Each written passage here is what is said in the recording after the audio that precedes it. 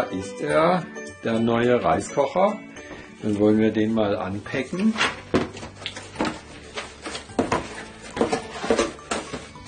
Also erstmal hier ein sehr schönes Quickstart. Das zeigt, wie man mit immer den gleichen drei Schritten hier entweder den normalen Reis oder den Low Carb Reis machen kann. Eben das, was eigentlich, also ich denke mal, die Kernkompetenz von dem Gerät ist.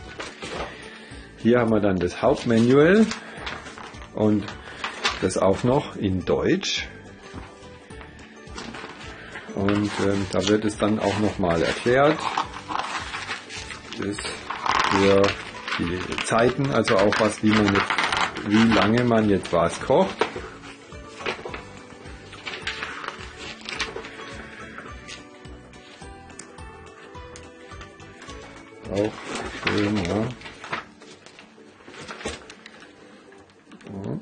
So, hier gibt es dann auch noch so eine Erklärung, wie dieser Low Carb Reis funktioniert. Da wird also ähm, der Reis in den Innenkorb gelegt und dann bleibt also die Stärke und vielleicht ein Teil von dem Zucker, der sich im Reis äh, bildet, weil der ja wasserlöslich ist, eben hier unten in diesem Restwasser unterhalb vom Reisbehälter und auch das werden wir später mal testen.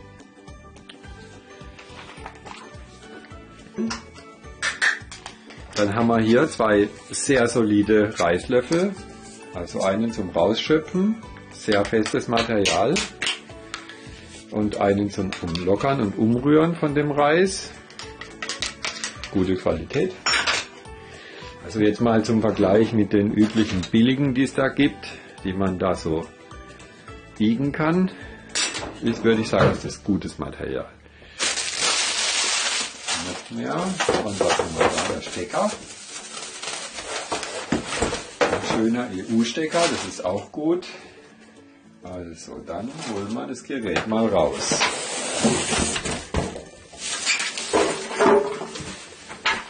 So, das ist ein ganz kleiner hier.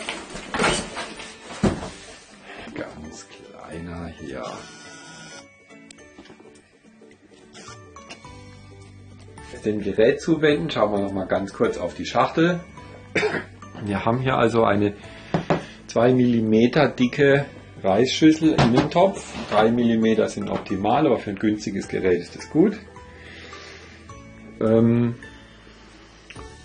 Smart Button Control, Ice White Display, Stainless Steel, Removable Steam Cap, Stainless Steel Yum Carb. Also das Wichtigste, was hier steht, ist wahrscheinlich, die geben also den Unterschied äh, bei diesem kalorienreduzierten Reis mit 25% an. Äh, andere schreiben 40 Prozent. Ich denke mal 25 Prozent ist eher realistisch. Also da bleibt man wohl auch bei der Wahrheit. Hm.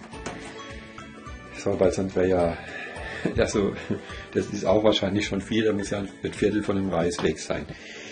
So, was haben wir noch? Wir haben hier diese Fuzzy Logic, die also durch diese sieben Reiskochphasen durchgeht. Ja. Dann haben wir er kann also weißer und brauner Reis kochen und er hat bis zu 24 Stunden äh, einmal die Warmhaltefunktion und aber auch die Timerfunktion, weil man vielleicht den Reis nicht so lange jetzt in dem, in dem Wasser liegen lassen will, je nachdem welcher das ist, könnte der sonst sehr matschig werden. Und dann haben wir hier diese normale Heating-Technologie. Das hat wohl jeder etwas bessere Reiskocher. Also kein Induktionsgerät, sondern eben auch ein normaler, konventioneller Reiskocher. So, so viel zur Schachtel.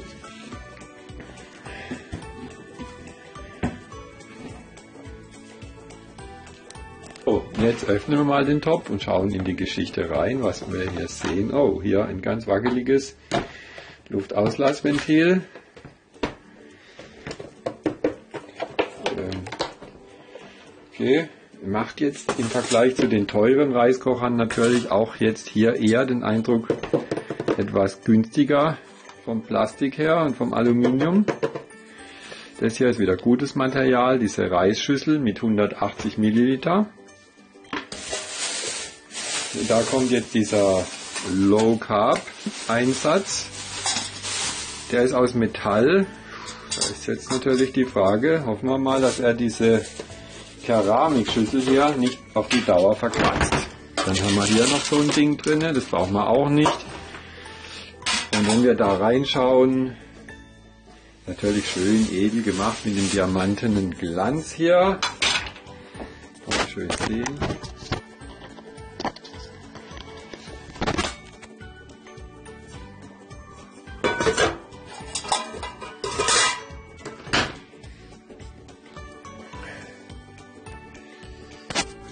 Wir nochmal rein. Also der Deckel fällt sehr leicht von allein zu. Und das hier sieht auch aus, als ob das relativ leicht einzudellen geht. Da haben wir diesen sehr schönen Low Carb Reiskorb.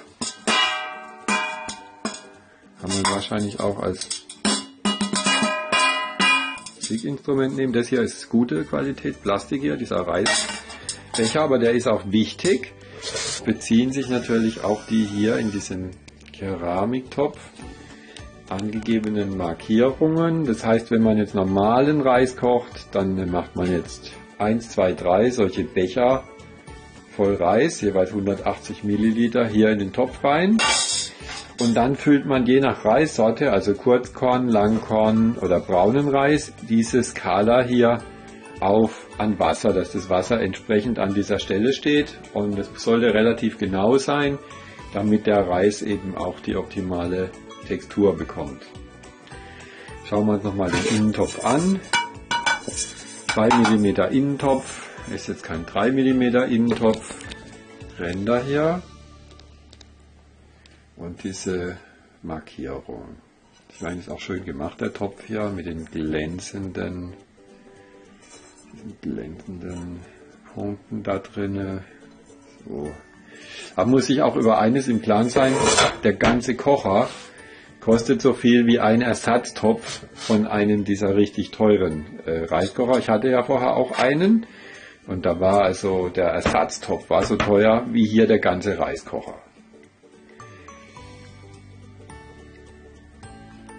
Werfen wir noch einen kurzen Blick hier mal in den Topf rein.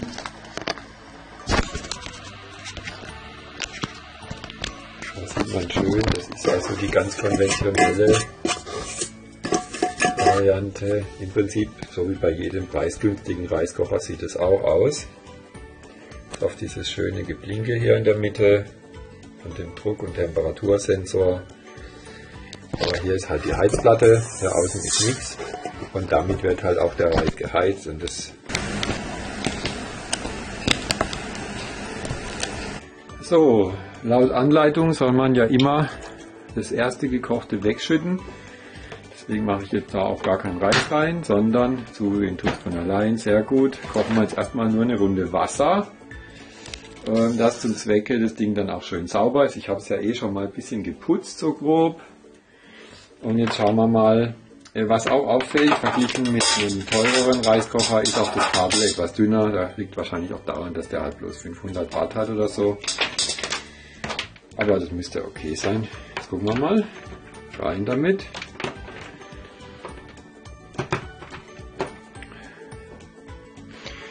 Einschalten. Und jetzt sage ich mal, ich will was steamen. Also gehe ich auf Steam, dann kriege ich diese Zeit hier. Jetzt kann ich die Zeit umstellen. Gibt ja auch, wie gesagt, im Manual äh, hier eine Tabelle dazu. Aber wenn ich jetzt 5 Sekunden lang nichts drücke, und das ist jetzt gerade passiert, dann hört es auf zu blinken und er fängt an zu kochen. Das heißt, er hat jetzt schon angefangen zu kochen und damit reinigen wir jetzt praktisch das Gerät, indem ich jetzt einfach mal hier den bisschen steamen lasse. Und das geht auch ratzfatz. Ich höre da schon Geräusche. Passiert, wenn ich den aufmache.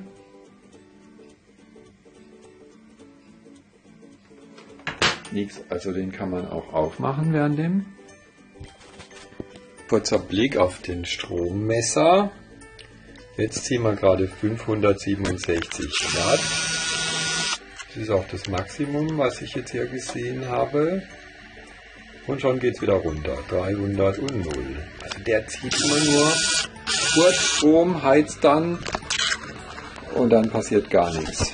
Also der heizt jetzt nicht volle Kanne wie so mancher andere Reiskocher, sondern der hat seine Temperaturen und da macht er mit rum. Bräuchte er, er bräuchte überhaupt keinen größeren, keine, jetzt zieht er gerade wieder. Jetzt hat er gerade wieder gezogen. Die ganze Zeit wieder nichts und jetzt geht schon wieder runter. Sieht man jetzt hier. Immer mal ein bisschen heizt er. So, jetzt mache ich den mal auf. Da sprudelt nichts, da brodelt nichts. Jetzt mal da reinschauen. Obwohl das Wasser ein bisschen kocht, kann ich diesen Korb, ein Low Carb Korb hier, kann ich direkt rausnehmen. Der wird nicht so heiß hier an den Henkeln. Das ist auch erstaunlich. Obwohl das Wasser da unten, das sieht man glaube ich auch, das kocht. Also da sind Blasen drin, aber der Korb wird nicht sehr heiß. So, also das hier sieht mir eher nach Wassermineralien aus, nicht nach Carbs. Ich habe kein Reis drin. Aber uns geht jetzt erstmal nur darum, das zu reinigen und mal ein bisschen das Kochverhalten anzuschauen. Also wir kochen jetzt auch gleich mal Reis damit. Und ich wollte nur mal sehen, wie so das Kochverhalten ist. Jetzt hat er wieder ein bisschen Strom gezogen. Sieht man hier. Jetzt hat was geschaltet. Und jetzt geht der Strom schon wieder runter. Also da hört man so ein kleines Knacken im Gerät, wenn er die Heizung einschaltet, so ganz dezent. Und dann schaltet er es auch gleich wieder aus und dann ist er schon wieder zufrieden. Also der heizt hier nie volle Kanne, das habe ich noch nicht gesehen jetzt. So, hm, ich denke jetzt aber, es wird auch gut sein. Sehen wir hier schon, ganz kleines bisschen Dampf ist da rausgekommen, nichts groß. Ja gut, bisschen dampfen tut es schon. Wie gesagt, das kann man nach wie vor hochheben. Es wird nicht zu heiß anscheinend. Also ich denke mal, der ist jetzt geputzt. Jetzt mache ich den mal sauber und dann kochen wir uns mal die erste Runde Reis. Der dezente Hinweis. Anders als bei den teureren Reiskochern überwacht er jetzt nicht, ob man den Deckel aufmacht. Muss er auch nicht, weil er ja keinen Druck, äh, keinen Dampfdruckmechanismus hat. Dann kann man jederzeit auch beim Kochen aufmachen und reinschauen. Und ähm, was ist denn jetzt, wenn er läuft und ich will das jetzt stoppen, das Programm, und will jetzt was anderes machen? Das ist ganz leicht. Ich drücke einfach zweimal hier auf den Knopf und dann ist er schon wieder aus. Kann ich anschalten. Und wie gesagt, Bedienung ganz leicht. Einfach, egal was man machen will, drücken, die Zeit eventuell korrigieren. Und wenn man jetzt 5 Sekunden wartet, geht die Funktion los. Eins und go. So, und wenn man es löschen will, einfach zweimal drücken, dann ist er aus. Also ganz leichte Bedienung. Keep Warm genauso einmal drücken, dann kann ich da diesmal nichts verstellen. Keep Warm geht los und dann zeigt er hier, wie lange das schon warm gehalten wurde. Kann ich auch unterbrechen. Sehr einfach. Reinigung. Also was ich schon gesehen habe jetzt hier ist ähm, dieses Ding hier, das kann man ja rausnehmen gut, wenn man es gleich dreht, dann hat man es auch gleich in der Hand. Da wird es auch feucht drinne. So, das wollte ich eigentlich am Stück rausnehmen.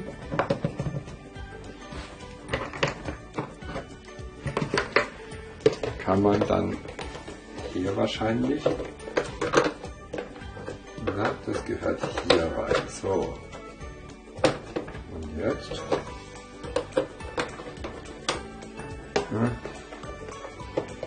So, jetzt. Naja, so kann man das rausnehmen.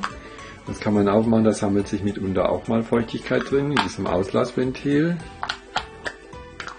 So, los. so, es muss immer nach rechts gedreht sein, dann bleibt es auch zu. Und jetzt muss es so rein, dass dieser Ding hier auf der Seite hier ist.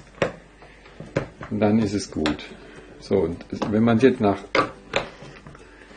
raus machen will, es eigentlich auch. Man muss auf der anderen Seite ein bisschen drücken, dann geht es raus. So, das ist der ganze Trick. Haben wir das auch mal rausgekriegt. Gut so. Auch auffällt, also die etwas teureren Reis Reiskocher, die haben dann hier am Topf einen Henkel, mit dem man das schön rausholen kann, ohne sich zu verbrennen. Das ist jetzt hier nicht der Fall. Hier hat man jetzt wirklich nur den Topf.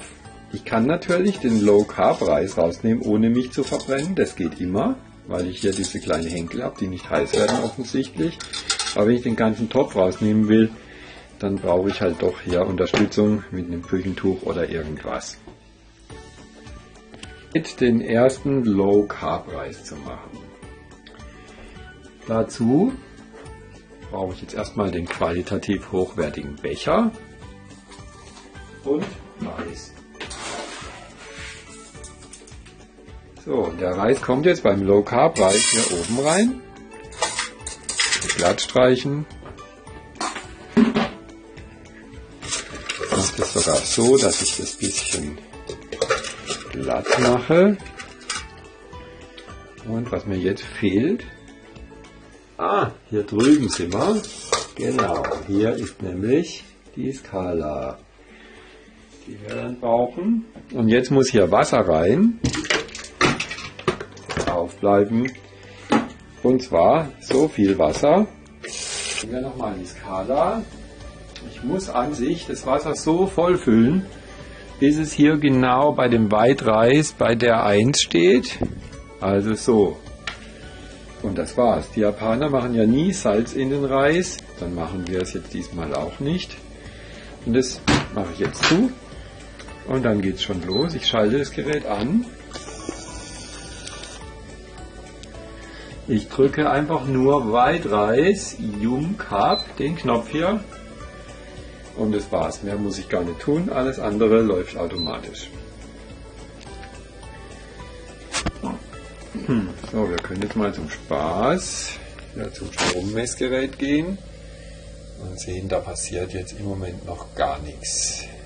Das heißt, er lässt jetzt einfach mal den Reis noch einweichen. Erste Knacken zu hören.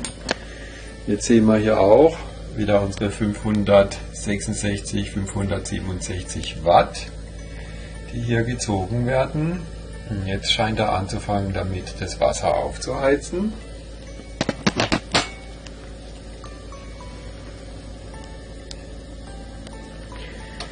Und hat er schon wieder ausgeschaltet. Hört man dann an den Knacken und hinten geht die Leistung auch schon wieder runter.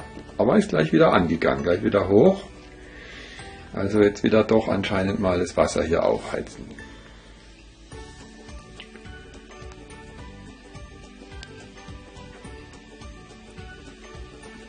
Man hört auch schon ein leichtes Geräusch hier.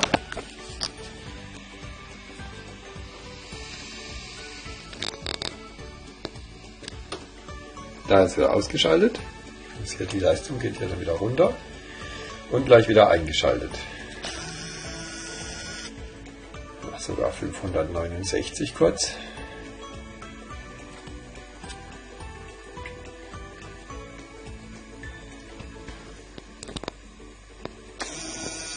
Ich sehe doch, dass die Geschichte hier zum Kochen kommt. Der Eindruck ist, dass er doch jetzt voll heizt. Wir gehen da auch bis auf 571 Watt, die er da sich vom Stromnetz genehmigt. Das heißt, hier kann man den Verbrauch oder die Kosten von dem Topf relativ leicht rechnen. Jetzt hat er aber schon wieder ausgeschaltet, wo er es gehört hat. Jetzt hat er gleich wieder angeschaltet. Das heißt, das ist etwa ein halbes Kilowatt. Das heißt, wenn das Ding eine Stunde läuft, wenn das Ding zwei Stunden läuft, dann hat man eine, ein Kilowatt verbraucht. Ein Kilowatt kostet ja bei uns 30, 31 Cent. Das heißt, wenn der zwei Stunden läuft, dann haben wir hier eben die 30 Cent, den größten Teil an Steuern bezahlt und ein bisschen was ja auch für den Strom. So, jetzt schauen wir uns hier mal die Infrarotsignatur von dem Topf an. Ich mache den jetzt auch mal auf.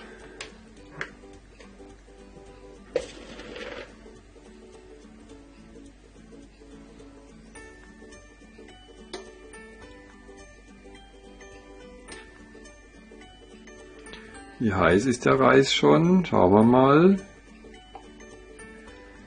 Also der hat bis jetzt etwa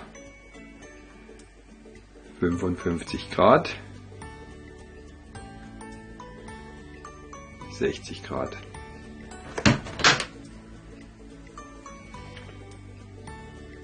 Der Topf selber wird hier nicht sonderlich warm.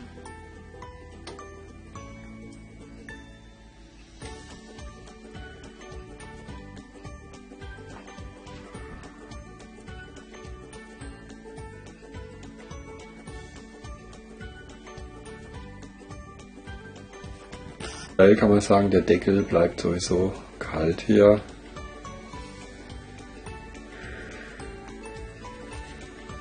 Und wieder ist etwas Zeit verstrichen. Wir sehen das ja auch hier bei der Uhr immer. Hier steht jetzt nur noch 18. Und wie gesagt, dieses Gerät kann man ja auch kurz aufmachen und reinschauen. Da sieht man, der Reis hat sich schon ein bisschen aufgebläht. Und das Gerät lässt sich Zeit. Wenn wir jetzt hier hinten schauen, da steht er schon wieder auf 0. Ja, kocht das, köchelt es da mit Ruhe nach seinem Schema. Jetzt hat er wieder den Strom eingeschaltet, das hört man ja. Jetzt geht er hier wieder hoch. So. Und jetzt hört man noch ein bisschen. Jetzt hat er wieder ausgeschaltet. Das war schon wieder genug.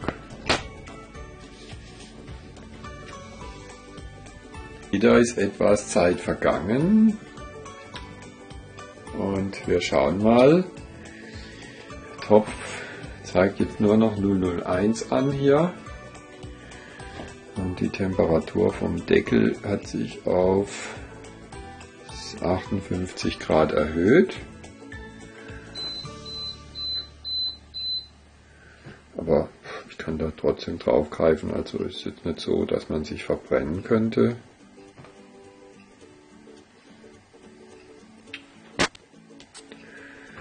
Der Griff ist kalt, sieht man ja auch hier natürlich. Der Auslass hier ist etwas wärmer. Geheizt wird jetzt nicht mehr. Welche Temperatur hat denn mein Reis? Das steht jetzt 00 da unten. Jetzt mache ich die Sache mal auf. Er hat ja auch gerade gepiepst. Also das sieht mir aus, wenn der Reis fertig ist hier. Der Reis hat jetzt etwa 90 Grad.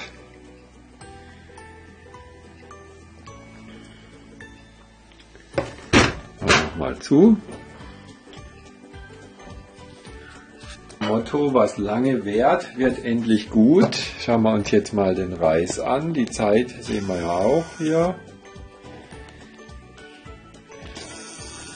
Gepiepst hat er auch. Er macht offensichtlich dreimal Pieps, wenn er fertig ist.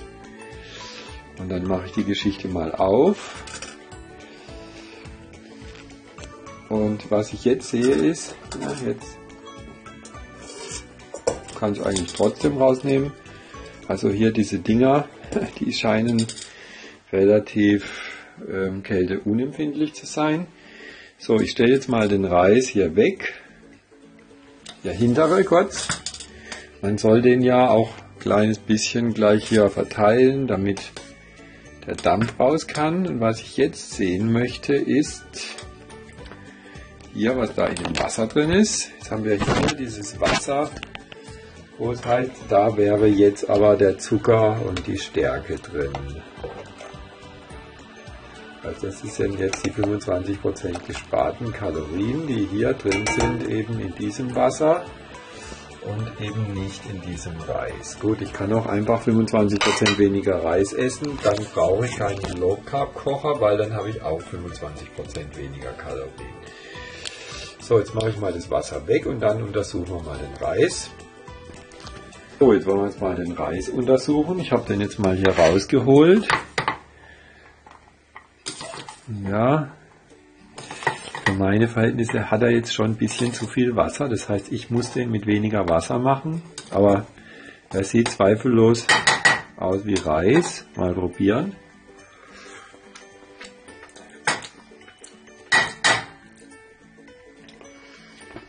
Und ja, hm, schmeckt auch wie Reis. Aber wie gesagt,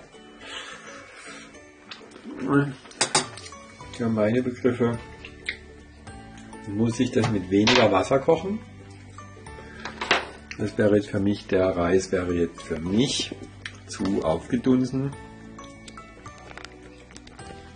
Also hat zu viel Dampf oder zu viel Wasser gezogen. Aber gut, das kann man ja nochmal versuchen. Das ist also der Low Carb Reis. Nochmal machen mit weniger Wasser. Das Ausspülen war, erwartungsgemäß kein Problem, weil ja Innen super Beschichtung. Jetzt mache ich erstmal hier alles aus. Jetzt das Ganze nochmal. Also ein Becher Reis. Und jetzt den Topf so rumdrehen.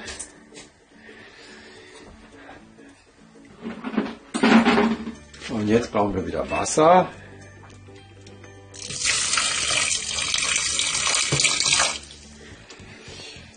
So, generell sollte das Wasser stehen bis, bis da. Jetzt haben wir einen kleinen Touch weniger gemacht, das sieht man. Ja. Bis da sollte das sein. Ich habe jetzt einen kleinen Touch weniger gemacht, weil er doch eben etwas zu weich war. Jetzt probieren wir es mal so und schauen wir auch mal, wie lange wir dann brauchen. Der Topf ist ja noch ein bisschen warm.